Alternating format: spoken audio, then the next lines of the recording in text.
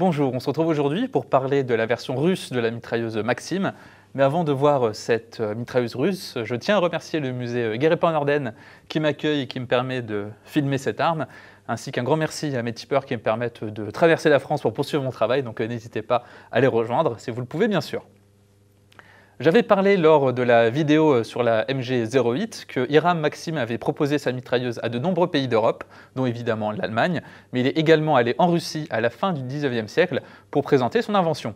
Le 8 mars 1888, l'empereur Alexandre III essaye la mitrailleuse Maxim, aménagée pour la cartouche de l'époque, qui était le 10,67 par 58 R Berdan, qui était une cartouche à poudre noire. Et suite à cette euh, expérimentation, quelques mitrailleuses vont être commandées.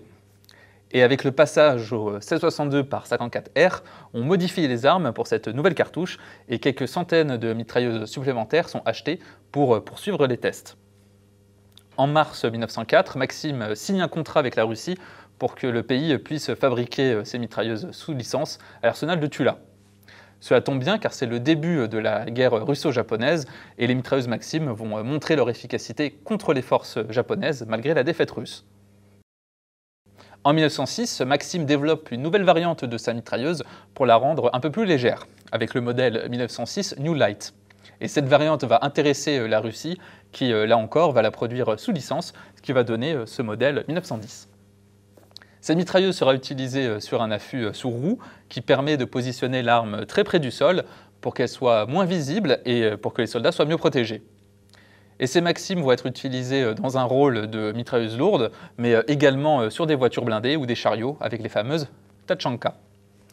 Et ces armes seront améliorées au cours du temps avec des modifications relativement minimes, dont une en 1943 avec l'ajout de cette trappe sur le radiateur qui va permettre de rajouter plus facilement de l'eau. D'ailleurs, on va maintenant euh, regarder euh, cette mitrailleuse 1910 d'un peu plus près. Cette mitrailleuse pèse 25 kg et son affût lui en rajoute 45.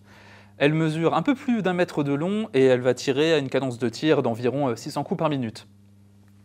Initialement, l'alimentation était assurée par des bandes en tissu de 250 cartouches, mais d'autres bandes ont été développées après la Première Guerre mondiale. Et l'alimentation se fait par la droite et euh, l'éjection va se faire à l'avant. On a un trou euh, ici où les étuis vont être éjectés.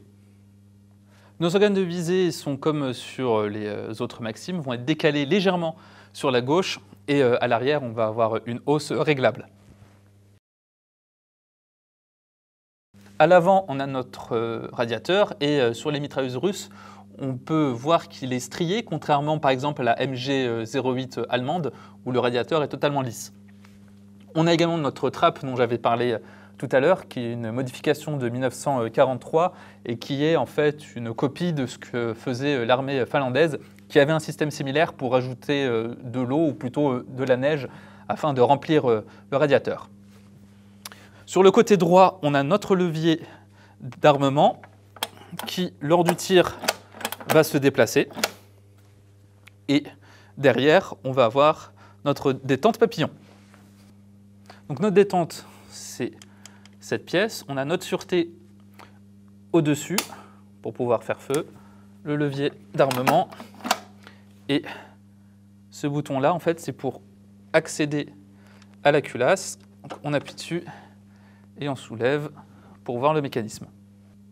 Lorsque je manipule le levier d'armement, on peut voir le mouvement que va effectuer la culasse lors du tir. Bon, comme vous pouvez le voir, elle est euh, pleine de graisse, donc je ne vais pas la retirer, mais euh, je vous invite à jeter un œil à la vidéo sur la MG08 où je la retire. En fait, c'est pas bien compliqué, on la met en arrière. Et totalement en arrière, en fait, on peut la soulever. Au niveau de l'affût, on peut voir la manière dont la mitrailleuse est sécurisée, ici et là. On peut évidemment déplacer la mitrailleuse de manière horizontale. Et pour euh, le réglage vertical, on déverrouille cette pièce et on a accès alors à une molette qui permet de régler plus précisément l'élévation. À ce moment-là, on reverrouille et on peut faire feu.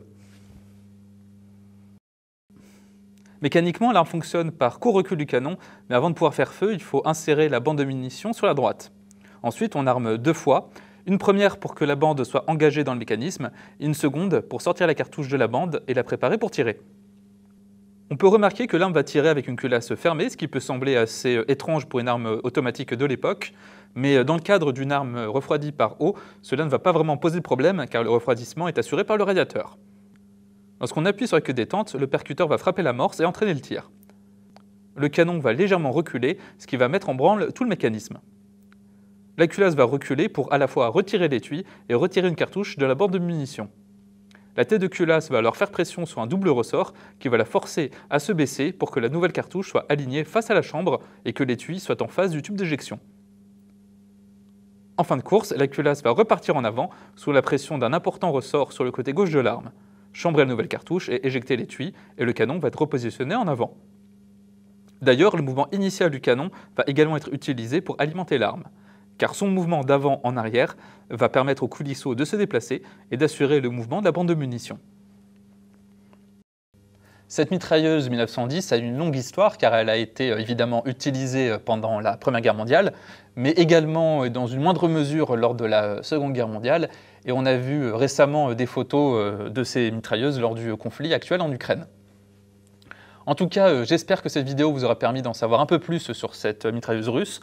Je vous invite, comme d'habitude, à vous abonner à la chaîne si ce n'est pas déjà fait, et si vous le pouvez, à soutenir mon travail grâce au Tipeee en description. Sur ce, on se dit à bientôt pour une prochaine vidéo.